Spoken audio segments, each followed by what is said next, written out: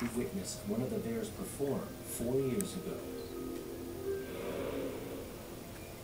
While in the woods with Yoda, another bear he hand-raised, he saw her do something he'd never seen before. I was walking with Yoda one afternoon and it was 90, 95 degrees and the deer flies were, were thicker than thieves on the ground. She was hot, exhausted,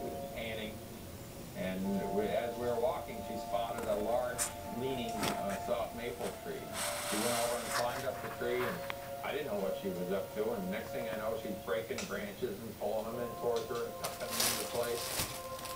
While I filmed and watched, she made a very nice bed comfortable bed and lay down and went to sleep for about an hour.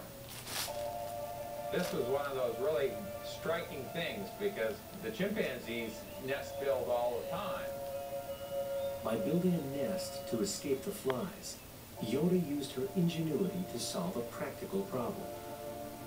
Then wondered whether this unusual act demonstrated that bears are as intelligent as the animal kingdom's famous problem solver, the chimpanzee.